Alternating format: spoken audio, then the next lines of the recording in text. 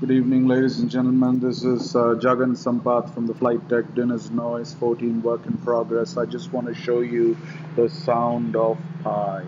So uh, we thaw the balls, some sound on Mondrian, then go to the waveform editor, and uh, this is the shape form for pi and the pi value is here it's 3.1414159 decimal places and that's the bit pattern for the pi and uh, and uh, 1 is 1 and 0 is 0.05 so if you reduce this it goes to 0 right there. And you could uh, shape it. So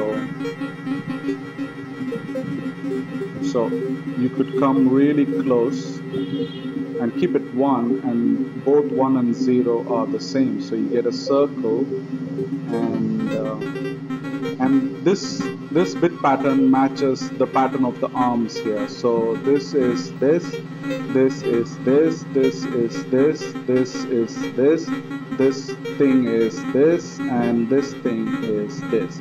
So we could just paint it here and that can change because we have auto apply it's gonna apply on its own so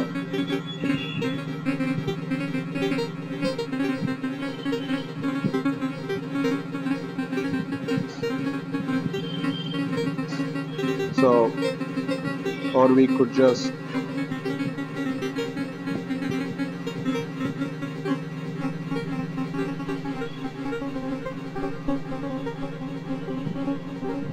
you see that?